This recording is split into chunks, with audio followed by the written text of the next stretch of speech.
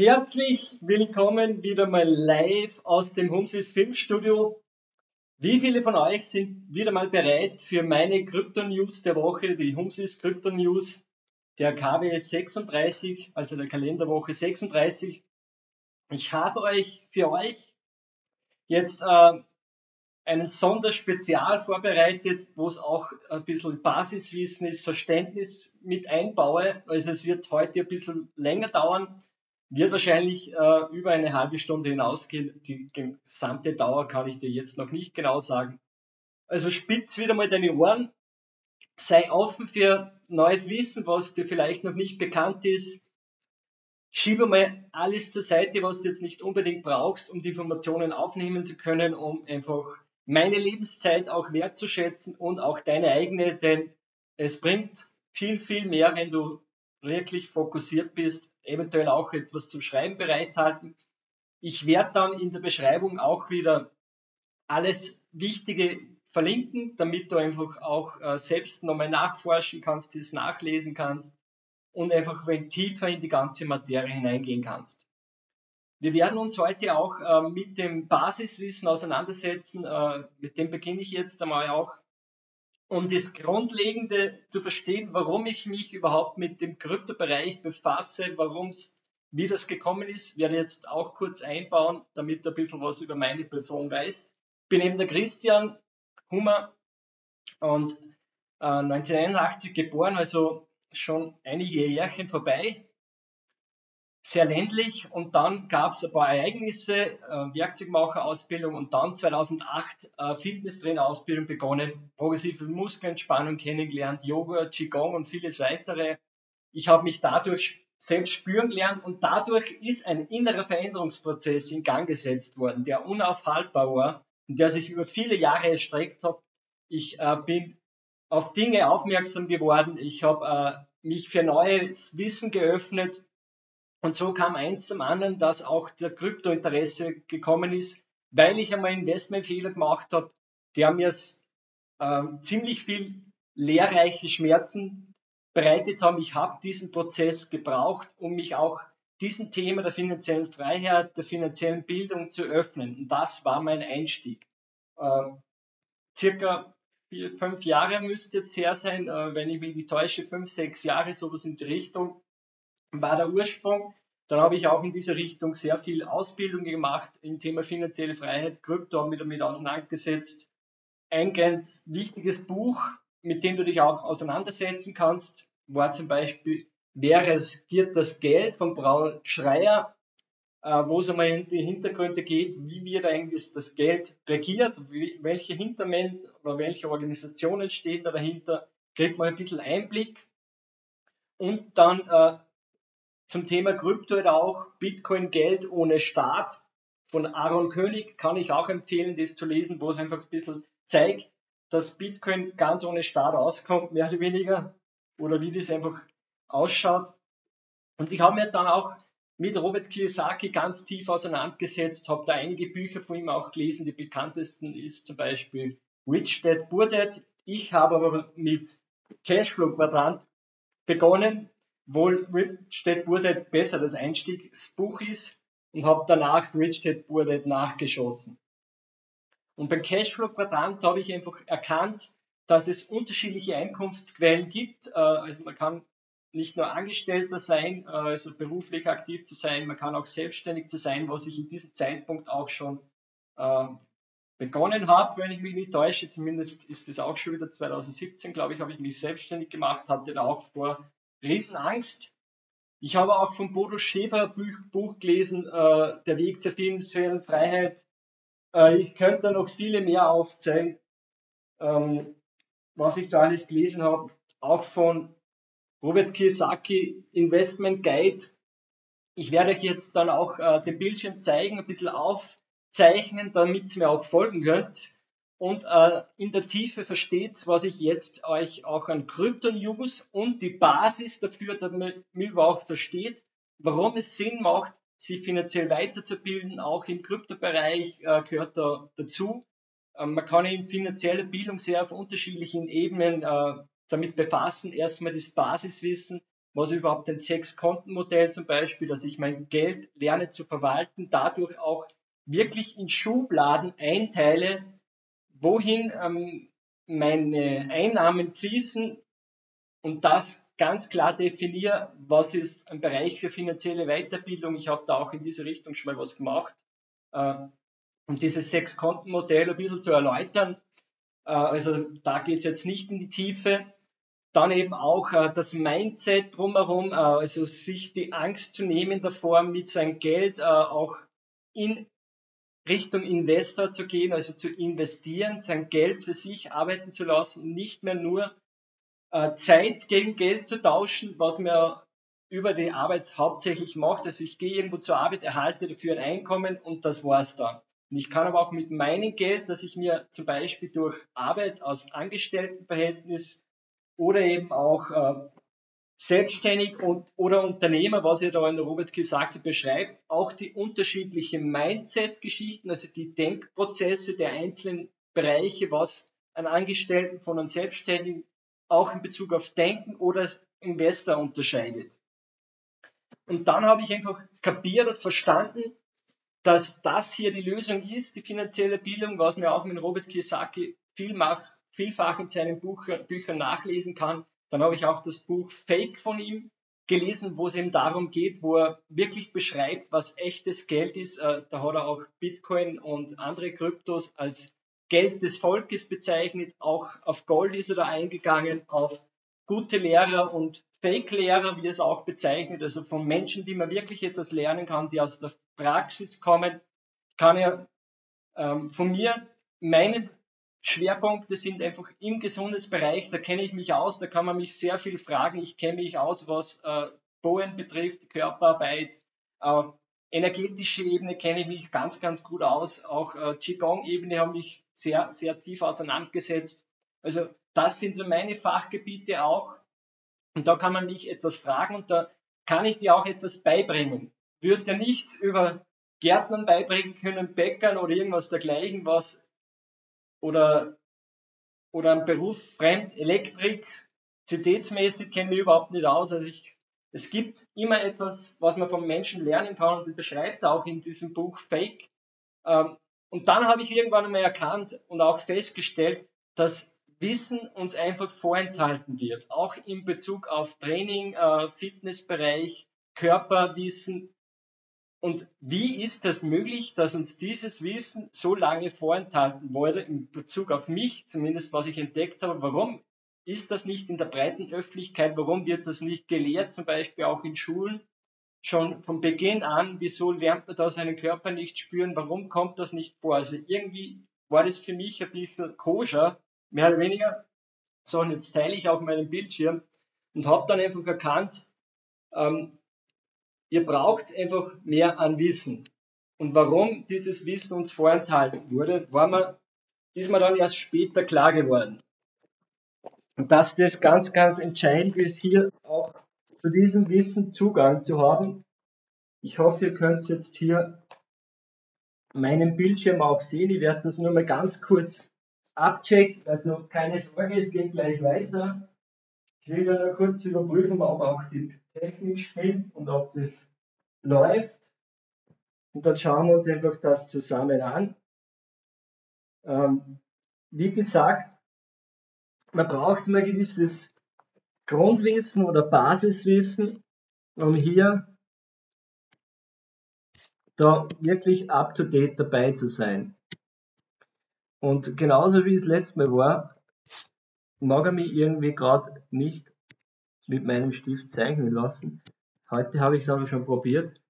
Schauen wir gleich mal. Jetzt checke ich nur mal kurz, okay, Technik passt, ist alles da, wie ich mir das vorgestellt habe. Und dann äh, gehen wir da kurz nochmal raus oder zurück und vor und dann schauen wir mal, ob wir das jetzt schaffen. Pinsel, okay. Den Stift hat aus irgendeinem Grund dann immer wieder nicht dabei. Also man braucht ein gewisses Basiswissen um erstmal das Verständnis dafür zu haben. Was eben ganz entscheidend ist, ohne Verstehen bringt man das alles nichts. Jetzt werde ich dann kurz nochmal das wegtun. anscheinend mag es mir da gerade nicht, sonst mache ich das nochmal, versuchen wir das nochmal neu zu schließen. Oder einfach nochmal Neues aufzumachen, das könnte funktionieren. Und dann schauen wir mal, jetzt lasst er mich zeigen. Genau das wollte ich erreichen. Also dieses Basiswissen ist ganz, ganz entscheidend. Ich brauche ein Fundament. Wie wenn ich ein Haus aufbaue, brauche ich hier ein Fundament. Machen wir es einmal so. Ich baue ein Haus auf und ich brauche hier ein Fundament, auf dem ich das Haus aufbauen kann.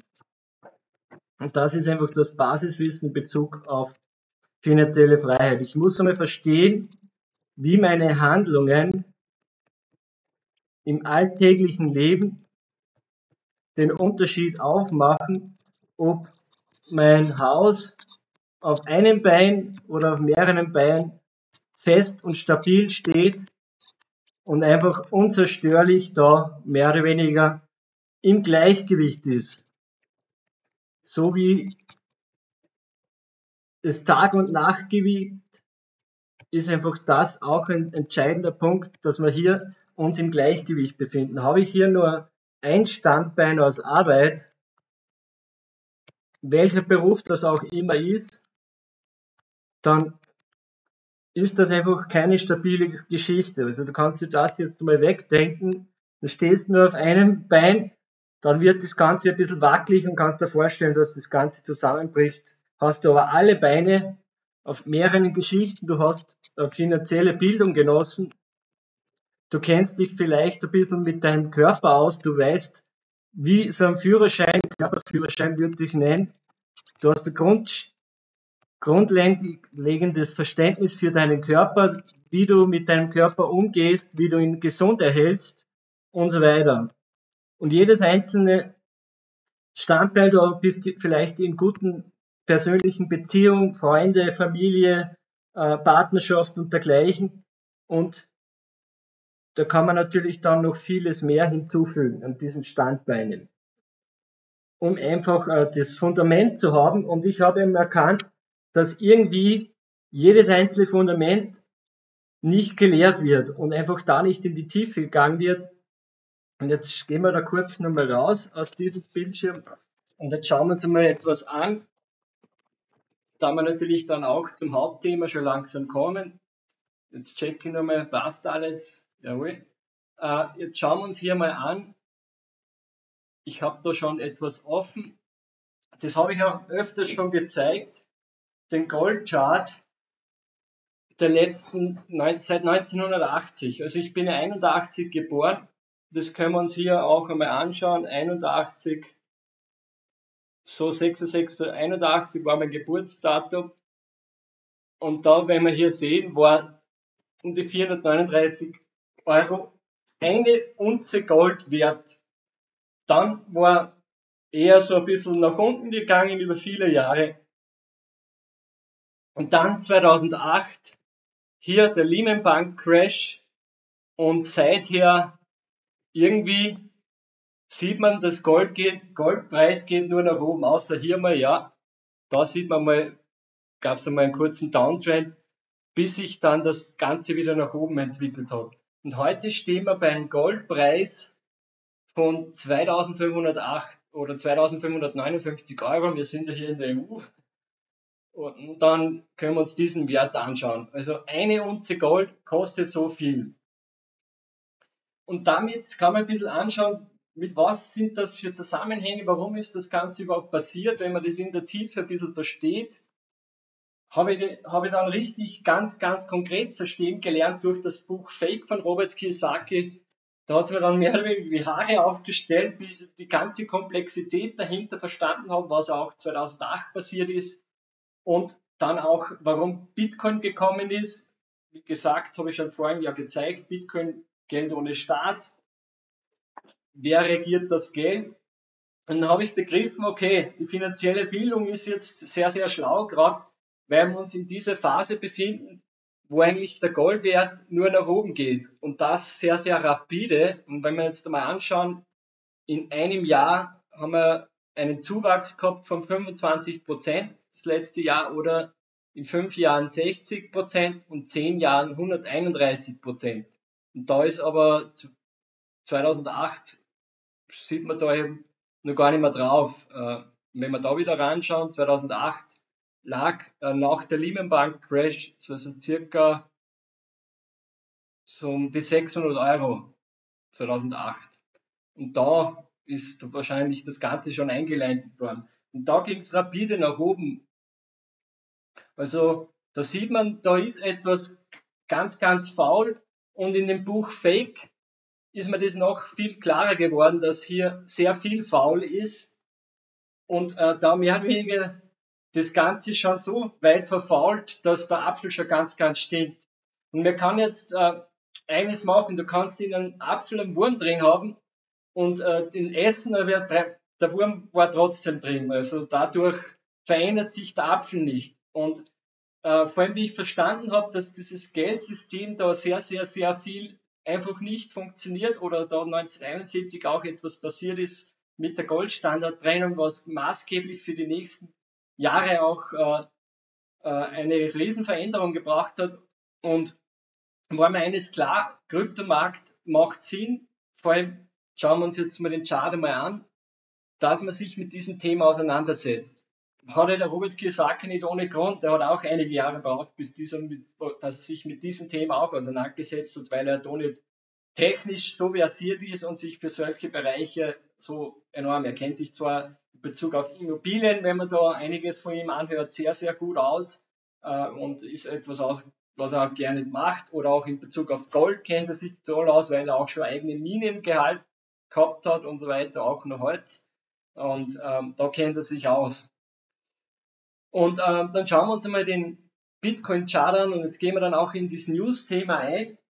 Also wenn du begriffen hast, dass finanzielle Bildung etwas ist, was definitiv nicht verkehrt ist, weil man hier Dinge versteht, was wie das Geldsystem ist, warum äh, was den Unterschied macht zu echtem Geld und Fake Money und da sieht man eben den Bitcoin-Chart, den ich auch schon häufig gezeigt habe. Man kann den natürlich auch in Euro anzeigen lassen hier oben. Ich bin hier auf coinmarketcap.com und dann kann man hier auch äh, den Euro-Wert sehen. 50.500 stehen wir gerade für ein Stück Bitcoin. Und äh, Goldpreis eine Unze, also da geht es um das Gewicht. Und beim Bitcoin geht es um ein Stück. Und hier kann man sehen, 2008 äh, nach der Lehman Bank Crash ist eben dann das gekommen, Bitcoin. Das haben noch sehr wenige gekannt. Überhaupt, was überhaupt Blockchain ist, hat sich niemand auseinandergesetzt oder sehr wenige. Ich gehöre auch dazu. Ich habe da nichts davon gehört oder auch mich bei Weitem noch gar nicht dafür interessiert. Da habe ich noch ganz andere Ideen gehabt. 2008 äh, habe ich meine Fitnesstrainer-Ausbildung begonnen. Da war ich, äh, habe ich sehr viel lernen dürfen über die vielen Jahre. 2012 war dann auch so ein Punkt, wo ich dann auch aus dem alten Berufszweig ausgestiegen bin. Nur, zum, nur am Rande. Und äh, wenn wir uns jetzt mal die aktuellen Krypto-News der Woche anschauen, auf die ich jetzt eingehen werde, äh, erstens mal zum Beispiel, dass hier auf Cointelegraph könnt ihr euch das anschauen. Ich werde das dann wieder unten verlinken. Züricher Cantonal Bank äh, beginnt einfach ähm, Bitcoin und Ethereum hier kann man es lesen. According to an official accountment on September 4, Zurich Cantonal Bank is now offering a trading and custody service for Bitcoin and Ethereum. Also wir bieten Handel und Verwahrung von Bitcoin und Ethereum dann an, an ihren Kunden. Und die haben doch sehr, sehr viele ähm, und verwalten auch sehr viele Assets ist eine der größten Banken in der Schweiz von 200 Billionen und 235 Billionen Dollar. Also da ist ein bisschen äh, Geld dahinter. Das ist ein, ein News der Woche, mit dem man sich auseinandersetzen kann. Ähm, es gibt, gab dieses Jahr schon sehr, sehr viele einzelne Schritte, angefangen vom Bitcoin ETF, der gelauncht wurde, wo einfach äh, Vermögensverwalter ein Produkt anbieten, dass man indirekt in Bitcoin investieren kann, also nicht direkt, sondern indirekt. Das ist natürlich für solche Vermögensverwalter ein enormes Geschäft äh, und äh, ermöglicht natürlich auch größeren hier einzusteigen, die nicht so einfach in Bitcoin direkt investieren können, weil es einfach mit vielen rechtlichen Aspekten auch zu tun hat, äh, was dafür braucht und so weiter.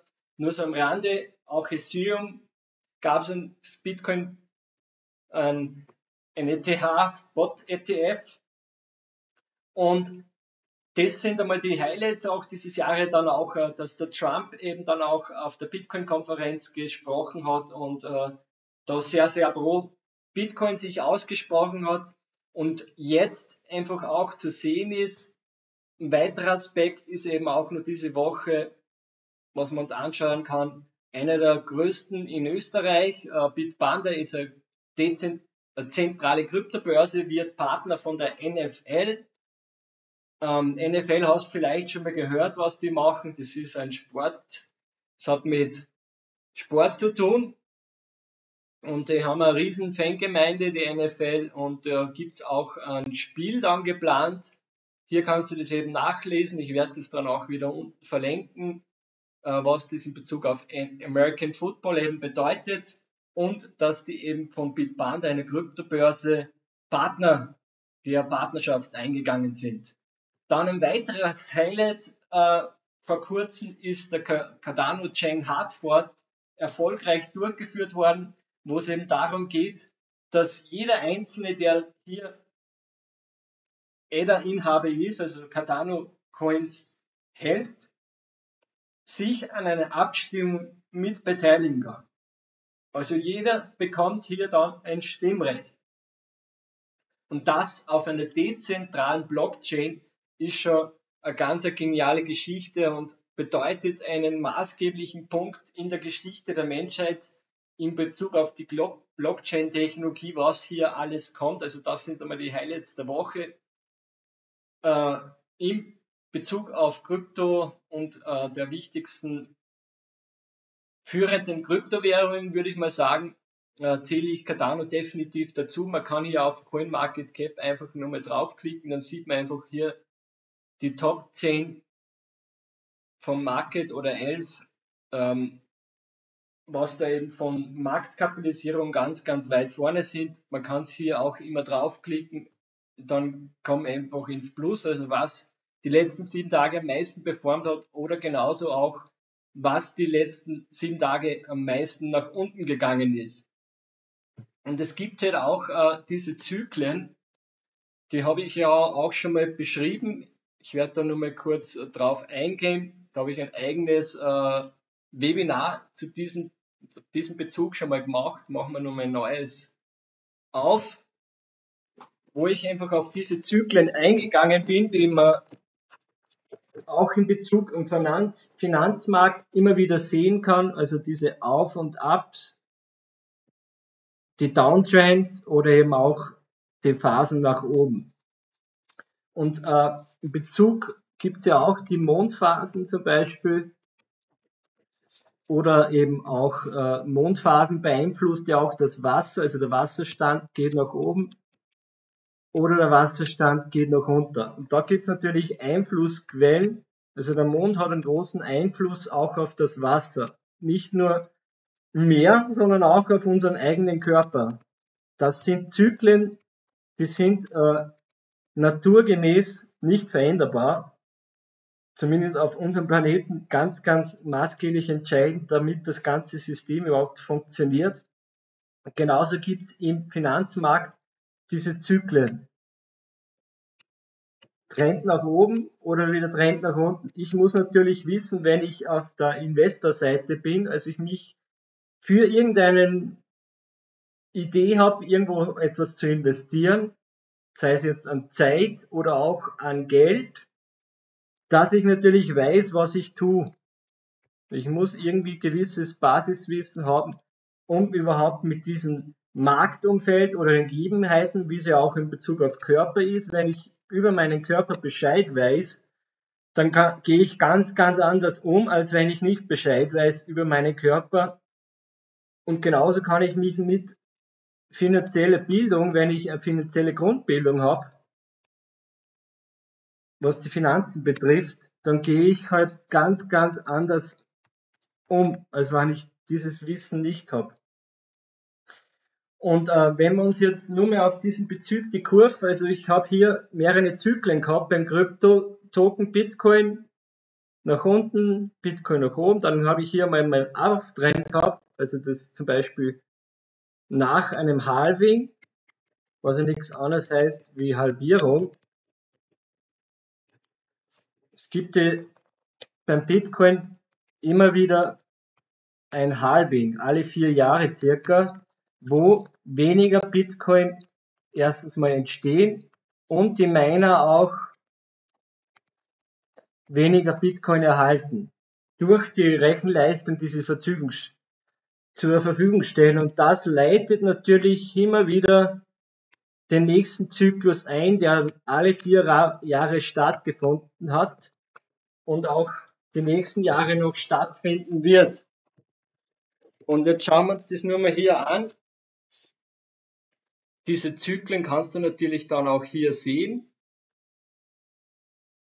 Wenn du auf diesen Chart gehst, Bitcoin, und dann natürlich das große Ganze betrachtest und nicht äh, die letzten Monate oder das letzte Jahr, wo es, wenn ich ganz rauszoome, dann sehe ich diese vier Jahreszyklen. Da sieht man sie wenig, weil hier einfach auch noch sehr wenig davon bekannt war. Und erst wie das Ganze größer geworden ist, kannst du natürlich sehen, dass diese Zyklen immer werden weiter nach oben gehen. Und das letzte Halving war dieses Jahr und jetzt sind wir einfach gespannt, wann dieser nächste Zyklus irgendwo wahrscheinlich da um die 100.000 Euro hinkommen wird. Es wird sich zeigen. Und äh, man sieht ja auch im Goldpreis, dass der, der schön mitgeht äh, mit diesem Zyklus. Bitcoin, äh, zehn Jahre schauen wir uns jetzt an. 2008 Lehman Bank Crash, äh, dann äh, die ganze Pandemie-Geschichte. Also ich bezeichne das als eine Pandemie. Äh, das war nichts anderes wie eine Pandemie. Riesenangstmache dahinter. Mir hat die Gänse ganz Gänsehaut aufgestellt, mehr oder weniger äh, und äh, habe die Welt nicht mehr verstanden, was da jetzt auf dieser Welt schief läuft in Bezug auf eine Krankheit. Und habe natürlich aus meinem tiefsten Verständnis für den Körper erkannt, dass da definitiv etwas sehr, sehr faul war, schon am Anfang der Zeit. Und äh, vor allem auch die Reaktionen der Menschen darauf hat mir gezeigt, dass da sehr viel Unwissenheit in der breiten Gesellschaft vorhanden ist. Sonst hätte sowas in dieser Art und Weise niemals funktioniert, dem Menschen so eine enorme Angst einzujagen. Äh, wenn das Basiswissen da gewesen wäre für den eigenen Körper. Und äh, wenn natürlich nicht äh, einzelne Institute eine Riesenmacht hätten, um das Volk in eine gewisse Richtung zu lenken. Und ähm, das nur am Rande. Und das sind einfach Dinge, was man verstehen muss. Und ich habe auch mal dann durch Fitnesstrainer-Ausbildung am Knie äh, verletzt, nicht direkte Verletzung gehabt, sondern ich bin ja öfters laufen gegangen, habe innenseitig einfach Beschwerden gehabt, hin und wieder Schmerzen beim Laufen oder nach dem Laufen.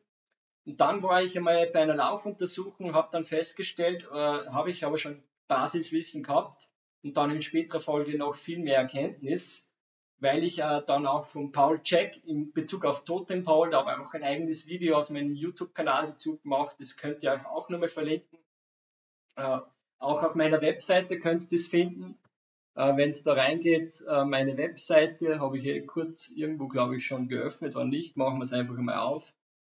Homes is Functional und da habe ich einfach hier in Bezug auf Gesundheitswissen, wenn ihr diese drei Reiter aufmacht, Homes ist wichtige Informationen, dann findet ihr hier äh, Gesundheit für Mensch und Umwelt äh, sehr viel Basiswissen. Und auch äh, Check Totempfahl. Und da habe ich dann erkannt, äh, dass die Hierarchien von unserem System so aufgebaut sind, äh, von oben nach unten, Kiefer, Atmung, äh, innere Rhythmen. Ich habe das ganz, ganz genau zumindest versucht, von Paul Jack die Informationen zu übersetzen und einfach das nach meinem besten Wissen und Gewissen einfach in die deutsche Form zu bringen. Und da ist mir einfach bewusst geworden, dass hier unser, durch das Laufen, ich habe eine Kieferfehlstellung und das positioniert mein Becken anders. Hier sieht man das Becken unten und hier das Kiefer. Und Atmung ist auch nur eigentlich vor dem Kiefer. Kiefer bedeutet Nahrungsaufnahme. Priorität aus Überlebensperspektive ganz, ganz, ganz weit oben. Also unser gesamtes Körpersystem, Nervensystem und so weiter entscheidet für uns selbst, dass das Priorität hat und das in seiner Funktion bleiben muss, bevor hier äh, alles andere, also das ist Priorität. Das, das, unser Körpersystem schaut lieber, dass unser Kiefer funktioniert, als dass zum Beispiel hier das Becken in der richtigen Position ist, schaut lieber, dass das Kiefer in seiner Position ist. Und dann muss sich natürlich das gesamte System darunter auch anpassen und findet eine Kompensation statt. Dann ist natürlich mein Laufschritt ein bisschen anders, äh, meine Druckverteilung ist ein wenig anders, weil sich mein Becken anders stellt und bei dieser Laufuntersuchung, wie ich da gehabt habe, da habe ich eine Laufanalyse machen lassen. Ein, sorry, dass ich jetzt so ein bisschen abweiche, aber du wirst dadurch ein Grundverständnis kriegen und in der gesamten Komplexität verstehen, warum das so entscheidend ist, dass man Basiswissen hat. Also ich bin da für eine Laufanalyse gegangen, habe da Druckmessplatten in den Schuh integriert bekommen, bin auf einen Laufband gelaufen und die hat sich dann da die Druckverteilung angeschaut und hat dann auch Beckenposition angeschaut und so weiter, hat äh, dann äh, mir Einlagen empfohlen und ich wusste aber damals, glaube ich, noch gar nicht, oder habe ich schon ein bisschen Basiswissen gehabt, ich könnte es jetzt gar nicht mehr sagen, aber ich habe gewusst, dass Einlagen zumindest nicht so positiv sind, weil ich mich mit dem Thema Laufen, Laufanalyse angesetzt habe, da in die Richtung auch schon Fortbildungen hatte und äh, auch äh, eine Diplomarbeit darüber befasst habe und habe gewusst, wie wichtig das ist, dass äh, Einlagen nicht die Lösung sein können.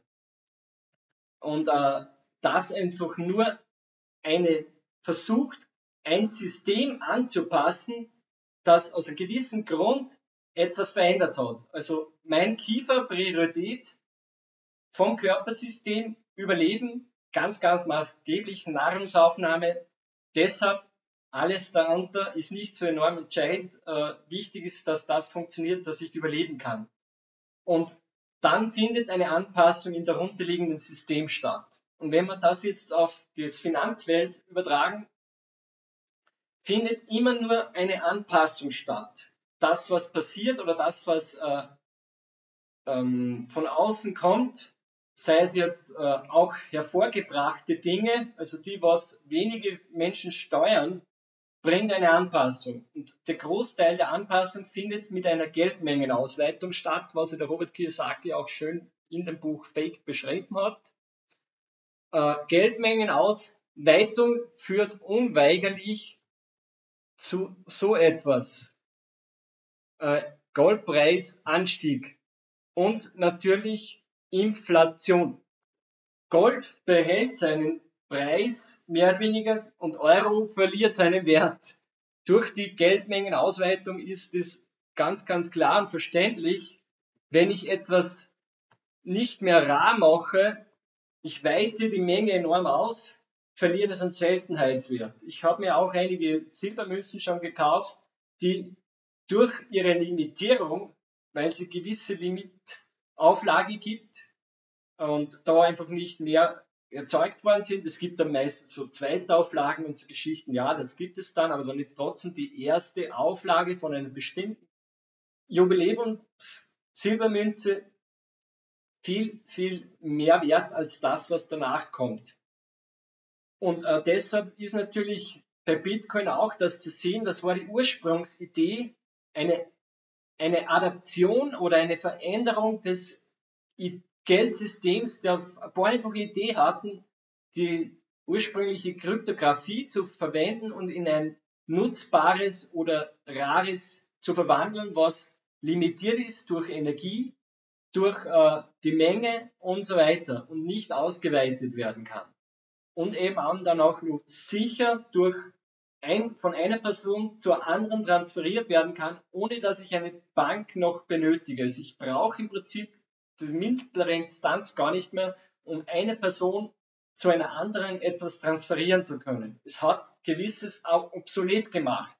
Und klar, hast du dann hier, wenn das auch größere Institute mitbekommen, von wem auch die Idee auch immer stammte, von dem Synonymnamen Satoshi Nakamoto, sei dahingestellt. Es ist nur ein, eine Sache, dass diese Idee einfach grandios war. Und das hat einfach diesen Zyklus Kryptomarkt eingeleitet und darauf folgten viele andere Ideen, wie auch Cardano von Charles Hoskinson, der auch einmal bei Ethereum dabei war und dann seine eigene Blockchain-Idee mit vielen anderen. Das kann er nicht alleine groß werden lassen, bis, bis es dann auch zu dieser Governance-Geschichte kommen, gekommen ist, also dass man abstimmen kann, habe ich auch hier vorhin gezeigt.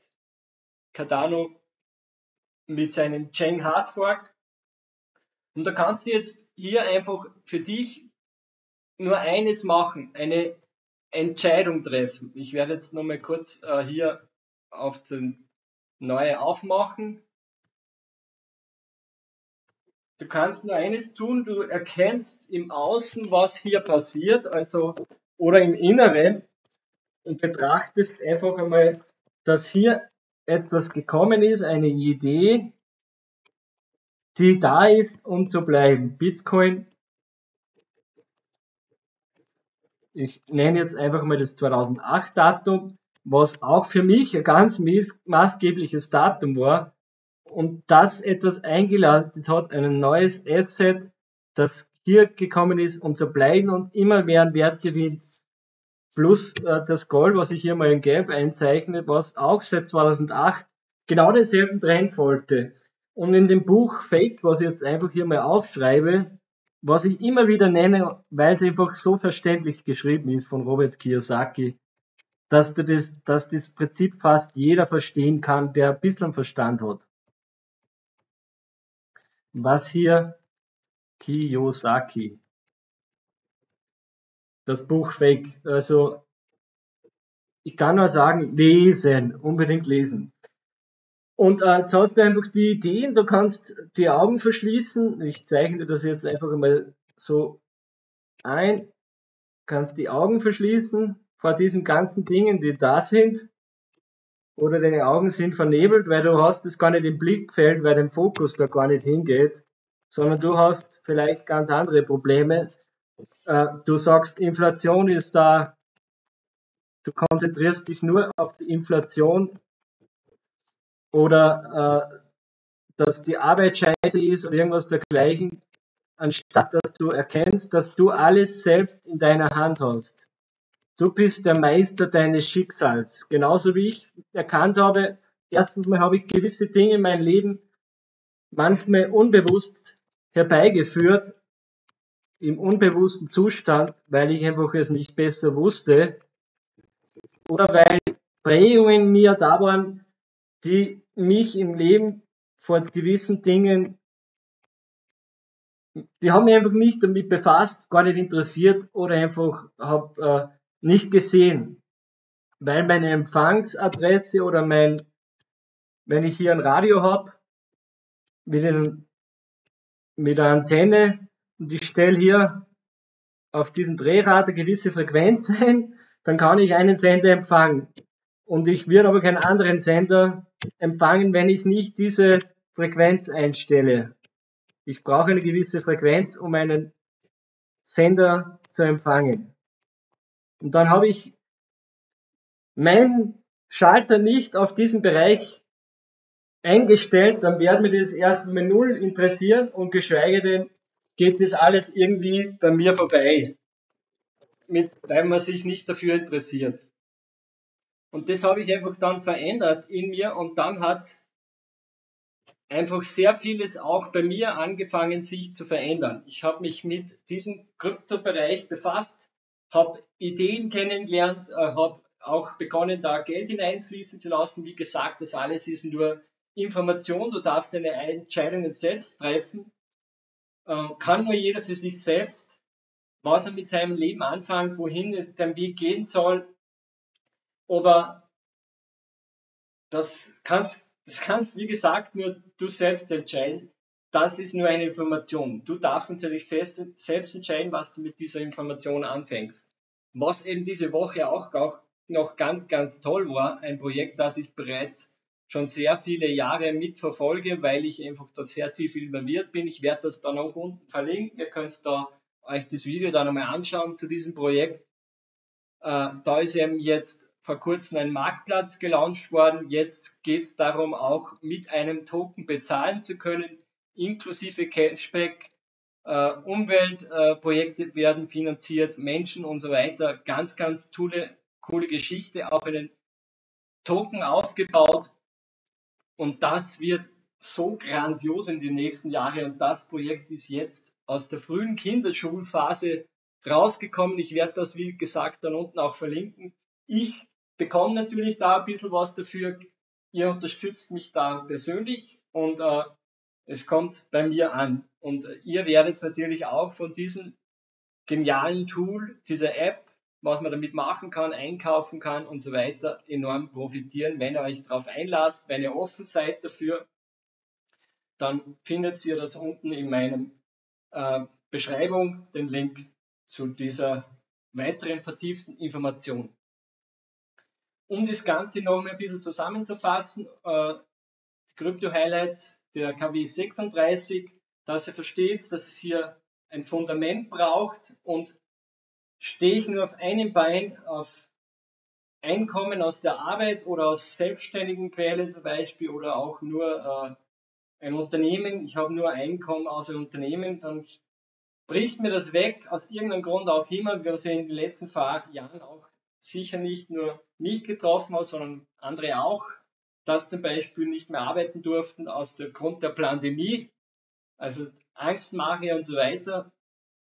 Und äh, dann ist auf einmal etwas weg, was dir ein Einkommen bringt oder einfach viel, viel weniger in Geldbörse ist, plus der zusätzlichen Instanz, dass die Inflation steigt und du einfach mit deinem Geld nicht mehr das gleiche kaufen kannst wie zuvor.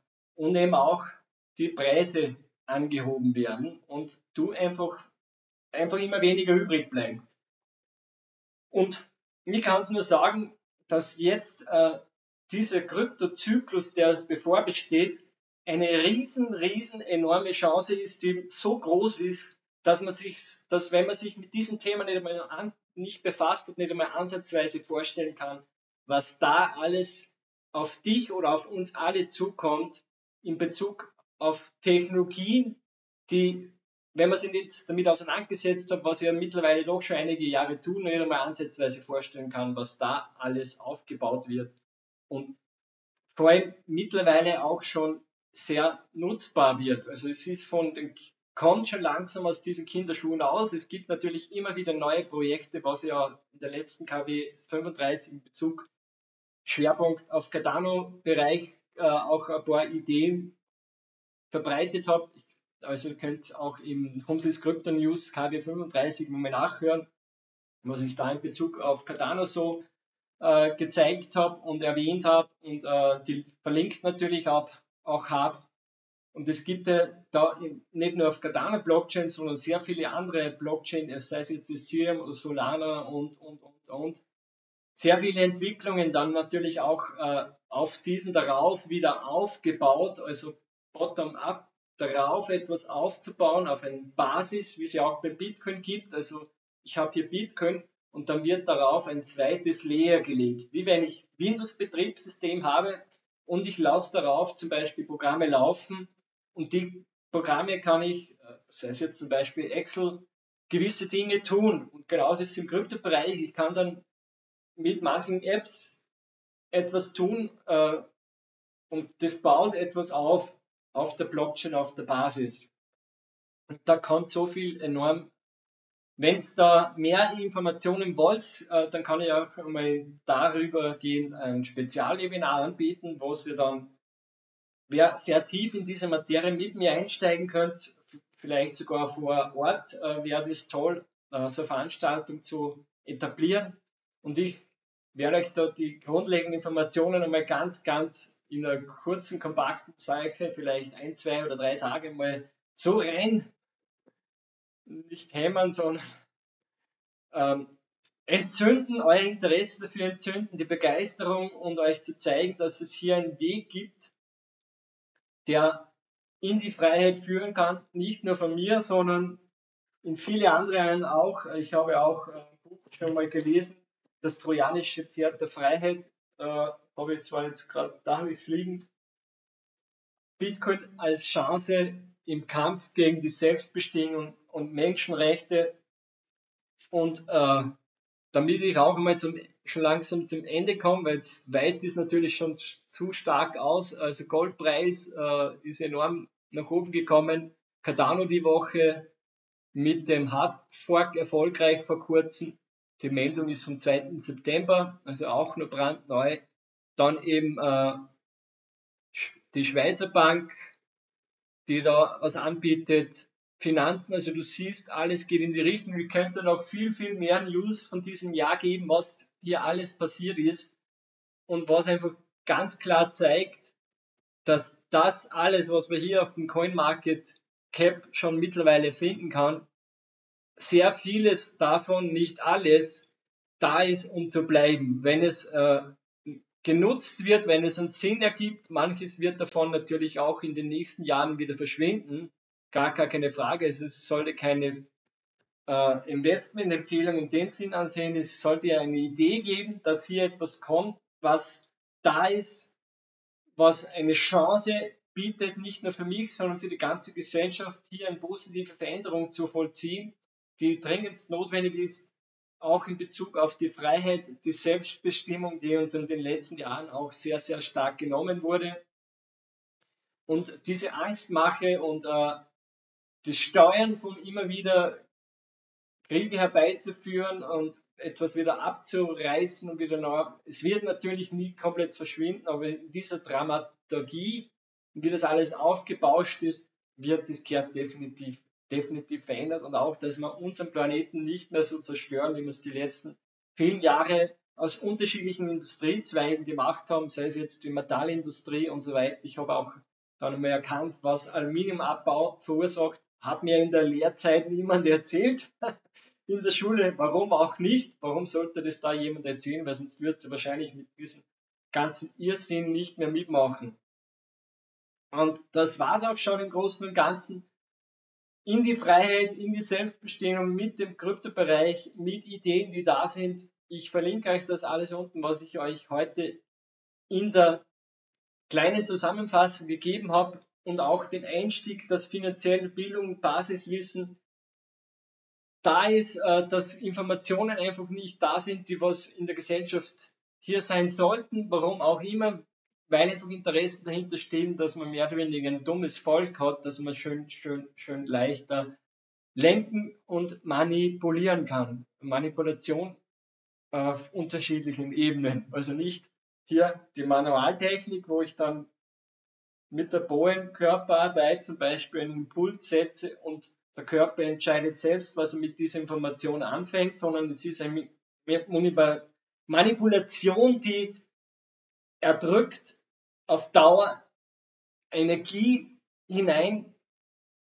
zur Energie im Körper nicht leben lässt, durch dieses jahrzehntelang der Erdrückung führt dann leider auch immer dann wieder mal zu Revolten, äh, wenn man dann vor allem auch so etwas macht wie enorme Inflation und das einfach dann die Superreichen für sich nutzen und einfach äh, die großen Institute, die sich natürlich jetzt im Kryptomarkt auch positioniert haben. Vorher haben sie das über viele Jahre schlecht geredet. Jetzt äh, hört das Schlechtreden immer weiter auf und findet auch in breiten Medien Anklang weil sich die Großen positioniert haben, um von diesem Markt zu profitieren und sich einfach auf diesen Beinen aufgestellt haben und bereit zu sein dafür. Und äh, die Frage ist nur, wann geht der nächste Zyklus richtig los? Es wird sich zeigen. In dem Sinne war es auch schon wieder mit den Homesys Crypto News. Macht es gut. Homesys Functional bewegt. Bis zum nächsten Mal. Und ich freue mich schon darauf, wenn du wieder live dabei bist oder die Aufzeichnung ansiehst. Lass mir vielleicht ein Gefällt mir da und äh, teil eventuell mein Video und schau dir die Informationen an, die ich dir unten verlinke. Plus dieses geniale Projekt äh, kann ich nur empfehlen, denn das ist könnte jetzt auch deine Chance sein, da mit dabei zu sein auf eine einfache Art und Weise. In dem Sinne war's das auch. Viert euch!